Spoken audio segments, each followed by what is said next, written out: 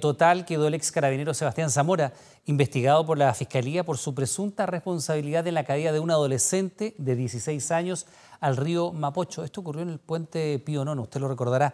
Zamora, quien fue dado de baja tras este hecho, permanecía desde octubre con prisión preventiva. Esta vez el juez de garantía acogió los argumentos de su defensa. Además del arresto domiciliario, deberá someterse a arraigo nacional, prohibición de acercarse al adolescente y de portar armas de fuego o de municiones.